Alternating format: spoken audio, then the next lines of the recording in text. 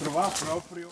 Bon, eh, allora lui è andato avanti anche dopo perché su per i mari, su per le montagne c'erano sempre quelli che erano abituati a, a, a fumare tabacco con la cartina, insomma, che costava poco rispetto a, al tabacco, era sempre contrabbando, capito? Era sempre contrabbando, ma non per la ricchezza, insomma, per campare. Insomma,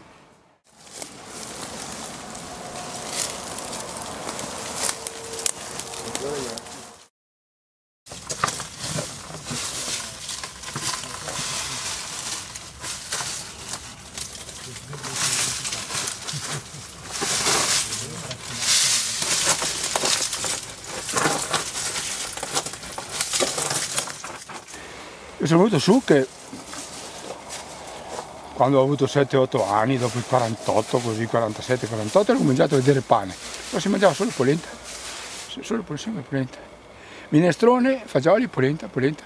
Il maiale d'inverno, galline, così. Era, era, non so come si può dire, eh, i fascisti la chiamavano, come chiamavano? Autarchia. ogni famiglia aveva il suo capito? Poi si, eh, il condimento si usava solo il maiale, l'ardo estrutto, insomma. Non si usava olio, comprare olio costava troppo l'olio. Non c'erano soldi, insomma, capito? Voglio dire, se uno doveva, non so, comprare un vestito, doveva vendere un vitello, adesso che roba là, insomma, capito?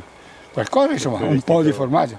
Faccio per dire, faccio per dire entrate, le uniche entrate che c'erano erano quelle che potevi, anche, potevi vendere anche un po' di, che so io, di grinto, ho un po' di polenta, insomma.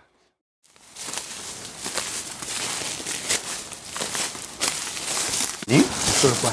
Dopo eh, non c'è pericolo, comunque mi ricordo che venivo con i bambini elementari, c'era sempre qualche frittola che aveva paura. Vedi?